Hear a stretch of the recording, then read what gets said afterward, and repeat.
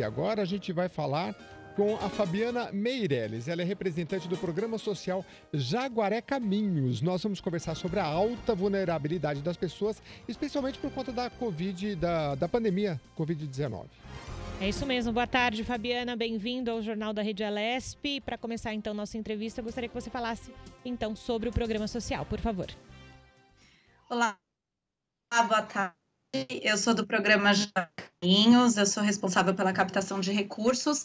Nós atuamos lá na comunidade Vila Nova Jaguaré, atendemos cerca de 550 famílias em situação de vulnerabilidade social, avaliada em situação é, vulnerável alta, né? E aí nós fazemos atendimentos através de alguns programas. Nós, faz, nós temos o contraturno escolar, que são os CCAs, temos as creches temos também um centro de inclusão educacional e temos um centro de cultura e profissionalização. Então, a gente atua com essas famílias por meio desses serviços. Nós somos uma, um programa social da Congregação de Santa Cruz, em São Paulo, e estamos há 33 anos fazendo esse trabalho. É, você falou aí do contraturno, a gente acabou de falar, de fazer uma entrevista aí a respeito da, da educação no estado de São Paulo. Depois, se der tempo, eu queria que você falasse um pouquinho disso pra gente, mas eu sei que vocês fizeram ah, uma. Vocês fizeram uma pesquisa, né? E é sempre bom. É, acho que vocês são. Antigamente era ONG, né? Hoje é mais organização da sociedade civil, acho que creio que seja esse o caso. E como é que vocês tra é, trabalham com esses números? Fala um pouquinho dessa pesquisa. Sim, nós tivemos é, recentemente uma parceria com a CBA B mais G, ela é uma empresa de branding, inovação e pesquisa.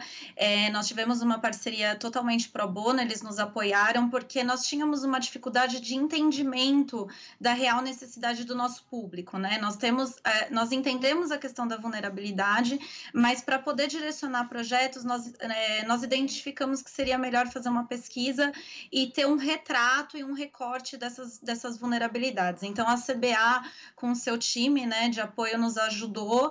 E aí, nós traçamos, né? O primeiro é, fizemos um cadastrão socioeconômico para entender a, é, um retrato das famílias e depois fomos por pontos, né? Então, nós trabalhamos a questão de geração e renda, trabalhamos a questão da educação, uma questão emocional também, porque a pandemia ela trouxe, né, um, uma vulnerabilidade emocional maior nas famílias.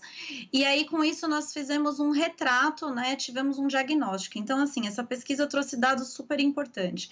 Na comunidade do Jaguaré, em comparação né, com esse recorte que nós fizemos com essa amostra, é, nós tivemos que 15% dos entrevistados tiveram Covid ou acesso é, a pessoas com Covid na mesma casa.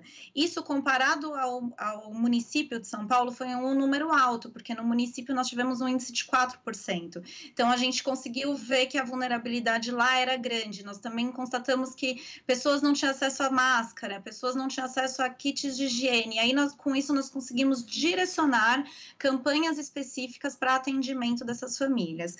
A questão da renda ela ainda é, é, o mais gritante, né? A questão da vulnerabilidade é, de renda e emprego. Das 553 famílias, 511 responderam, né? E aí, 57% tiveram perda de renda durante a pandemia e 77% ganham até R$ 1.500. E aí a gente está considerando uma média de 4 a 5 pessoas por família. 34% desses, de, de, dessas famílias que foram é, participaram da pesquisa, nenhuma está trabalhando durante a pandemia. Então, assim, estavam dependendo exclusivamente da questão do auxílio emergencial e das campanhas de apoio. Então, nós tivemos uma série de campanhas de apoio direcionadas. É, de, desse montante, né, nós ainda temos 16 famílias, que representam em média de 3%, que ganham até 250 reais, que são famílias que, por algum motivo social, também não tiveram acesso a questão do auxílio emergencial, né? Então, assim, é, a, o nosso trabalho enquanto assistência social e educação é fortalecer essas famílias. Então, nosso time de assistência social vai até essas famílias para entender como pode ajudar na questão do direcionamento para a rede, né, é, socioassistencial, para a rede municipal, para poder conseguir é, criar esse engajamento dessa família na rede para que eles se sintam fortalecidos. E agora a gente começou um plano de de ação com base nesses resultados para traçar os projetos, para que a gente tenha um direcionamento ainda no final de 2020 e para 2021. Pois é, e a gente percebe, até conversando com outros especialistas durante esse período aqui no Jornal da Rede Alesp, o quanto se faz necessário políticas públicas para essa população, Exato. mas não só nesse momento de pandemia, né? Também no pós, mas que seja algo contínuo, não é, Fabiana? Exatamente. É, a gente, a gente tem uma carência né, de políticas públicas. Na verdade, elas não alcançam, né, de fato, porque quando a gente fala de uma comunidade que está em extrema vulnerabilidade, muitas dessas pessoas nem têm acesso às políticas públicas. Então, a gente também trabalha a questão de movimentar junto a líderes comunitários essa questão dessa participação mais efetiva, desse apoio, para que as pessoas de fato consigam ter acesso às políticas públicas. E aí nós vamos desenvolvendo projetos, né? Agora nós já estamos pensando num grande projeto de empregabilidade que vai conectar empresas à, à, à questão das pessoas que estão precisando. Nós vamos também trabalhar projetos de, é, um projeto de empreendedorismo no próximo ano, porque a gente acredita que é, com esse índice de desemprego, talvez nós também não tenhamos emprego, né? Principalmente nesse pós-pandemia. O cenário não é tão favorável. Então, como trabalhar a questão do microempreendedorismo que leva o desenvolvimento local, que gere uma rede ali dentro da própria comunidade para ajudar no desenvolvimento, né? Fabiana, você então integra aí o programa social Jaguaré Caminhos, salvo engano é Zona Oeste ali de São Paulo, né? Uma comunidade com 500, mais de 550 famílias. Vocês trabalham em rede?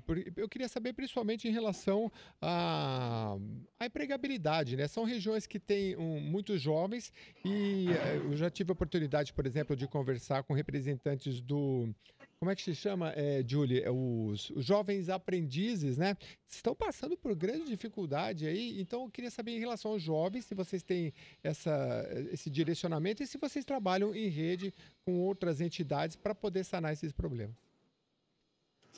Sim, é, na verdade, nós temos já um programa com o Instituto Coca-Cola, que é um projeto de empregabilidade, é, que já é direcionada para o público jovem, que eles acessam, né, além da formação em blocos, eles acessam também depois o encaminhamento para emprego. A gente está agora fazendo o desenvolvimento desse portal, e aí nós estamos conectando com empresas né, ali da região e também com pequenos empresários e pequenos contratantes é, que podem é, fazer essa essa conexão. Nós, como fazemos parte da congregação de Santa Cruz, é, nós temos também escola de jovens e adultos, né? Que é uma parte da filantropia do Colégio Santa Cruz. Então, esses alunos também profissionalizantes acabam tendo a oportunidade de acessar ali na própria rede da congregação de Santa Cruz a oportunidade. Então, assim, é um trabalho que ainda precisa criar corpo, né? Nós temos as parcerias, algumas parcerias, estamos ampliando essas parcerias e os projetos, porque a gente de fato fato é, quer proporcionar para essas pessoas uma perspectiva de futuro melhor, né? Hoje o Jaguar, a comunidade Vila Nova Jaguaré tem em torno de 15 mil habitantes. É uma, é uma comunidade representativa. É, Para quem não, não conhece, é aquela comunidade que fica na marginal, bem em frente ao CEAGESP, em frente à estação de trem da CEAGESP. Perfeito. E, Fabiana, você falava pouco também sobre essa questão das políticas públicas contínuas, né?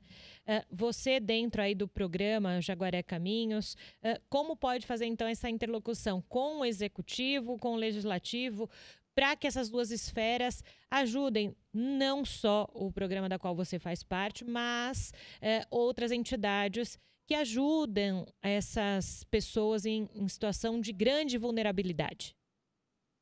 Sim.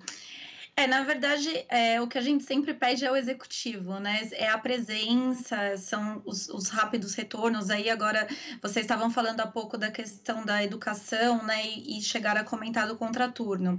Nós tivemos uma, uma situação assim é, de urgência agora com o retorno parcial dos CCAs. Nós tivemos que retornar 20% dos CCAs.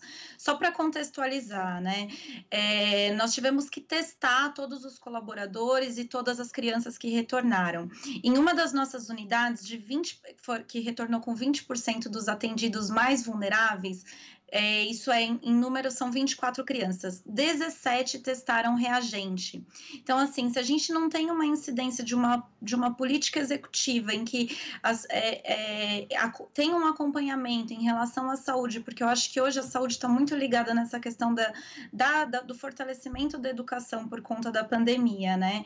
A gente não consegue. Então, é, ontem eu estive em uma das unidades que já retornou, eu vi a presença da UBS lá, então, assim, é, a gente precisa criar essas conexões, e elas de fato precisam acontecer. É o apoio do CRAS, é o apoio da, da CIMADS, é o apoio da, da UBS, enfim, é ligar essas esferas de educação, saúde, social, para que a gente consiga fazer um bom trabalho, é trabalhar em, em rede mesmo, né, em grupo. Muito bem. Eu queria agradecer bastante a sua participação aí. Quem quiser conhecer o trabalho, muito interessante. E fique sempre à vontade aqui, os microfones sempre abertos aí para vocês trazerem as novidades, viu? Eu que agradeço a oportunidade, viu? Depois eu também estou à disposição. Se quiserem depois compartilhar meu contato, estou à disposição. Obrigada.